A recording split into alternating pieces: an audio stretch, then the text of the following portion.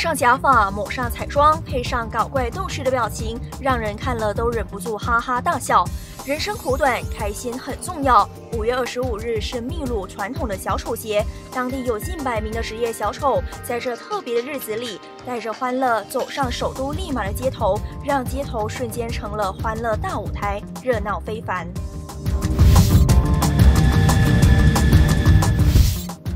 熊熊的篝火让小孩看得目不转睛。五月二十五日，以色列耶路撒冷谢雷姆区聚集了大批极端正统派的犹太教徒，他们围着篝火载歌载舞，欢庆篝火节。当地的小孩也会自己动手捡木材搭建篝火。你看，这人形娃娃就是即将被燃烧掉的恶人，意味着消除厄运。此节日主要纪念贤者阿奇瓦拉比以及他成功夺回耶城的伟大事迹。你是不是很好奇，这么一个个模特儿会从机舱里走出来？这 T 台怎么会在柏油路上呢？不要质疑，机场跑道确实成了临时的 T 台。